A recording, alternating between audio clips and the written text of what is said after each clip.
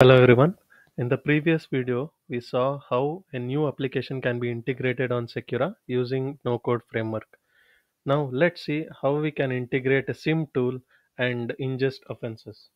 First, let's create an application. I will take an example of QRadar. We'll give a version, then we'll select category as SIEM. Now let's add app parameters that is URLs and credential and username password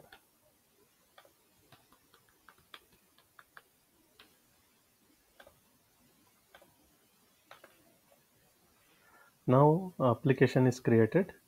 Now let's add few tasks here. First let's add task to get source IPs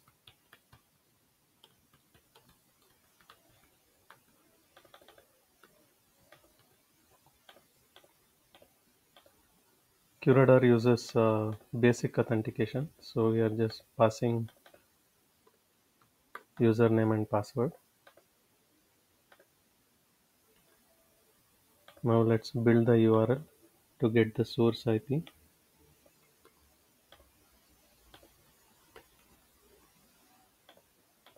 now if we execute we are able to see that we are getting all the source IPs in the QRadar Let me save this task. We'll add one more task to get the destination IPs.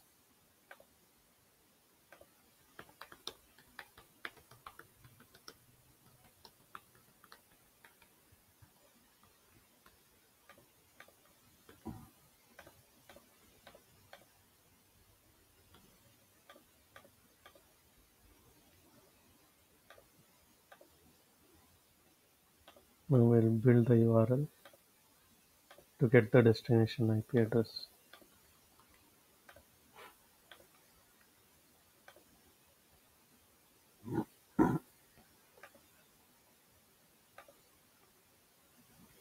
Now we can see that in the response we see all the destination IP address. I'll save this task as well. Now let me add a task to ingest cases.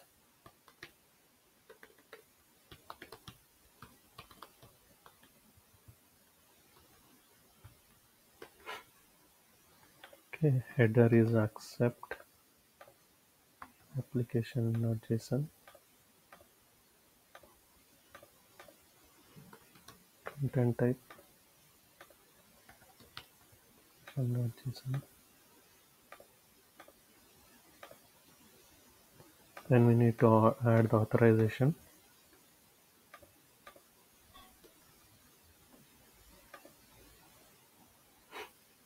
And then since we are using this task to ingest cases, let's click on ingest cases and we'll provide 50 incidents per request and the page start will be one. We can also provide custom query and the date from where we want to fetch the offenses. Now I'll add the range as well.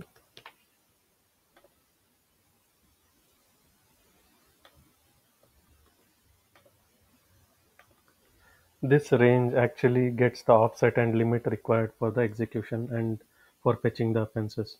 Now let's build the URL.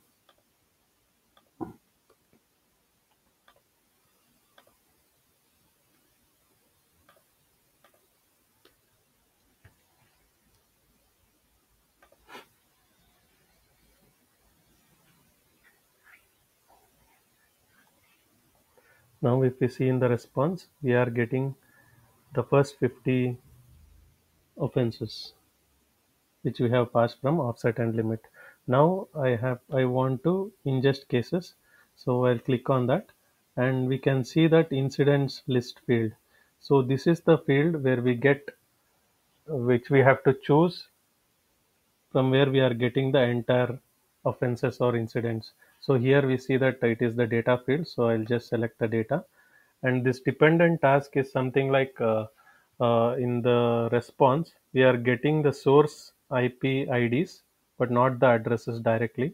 So if we see here, QRadar is not providing source IP addresses directly for a offense. So it will give an ID and then you have to fetch the IP address from a different task. So uh, we have we have already added source IP addresses and uh, uh, destination IP address task. Okay, so we'll just select those from here. So these are the dependent task, and then I'll select ID, that is the input, and the output will be the source IP. Again for destination IP address, I'll choose ID and local destination IP. Okay, so from this task, when we pass ID, so we'll get the source IP, and from the destination IP address task, when we pass ID, we'll get the local destination IP. Okay, now let's move on to the field mapping. First, we have to select this mandatory field, which is the ID field, the unique field uh, uh, for an offense. And then if we have a status field, we can map that status field from the response as well. And also we can map start time uh, from the response. And then for source IP, it is not directly coming from the response. So we have to use dependent task output field. And then here we'll choose the source IP address. And then we'll pass source IP IDs, source address IDs for this. Okay. And for destination IP address, we'll again choose dependent task and then choose get destination IP. And here we'll choose destination IP address local destination address IDs.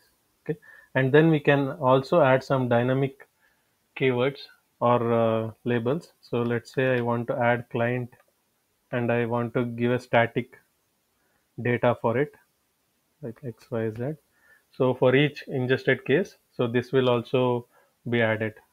Okay, now the task is ready. So I'll click on save.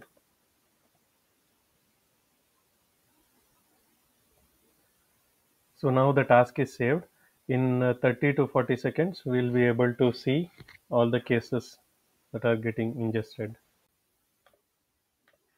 Now we can see all the case ingestion has started. And if we go inside a particular case, we can see that source IP and destination IPs are available on the case detail screen. And on raw data, we can see all the fields that are coming from the QRadar and also we can see the dynamic field that we just added with a value onto the case. Thanks for watching.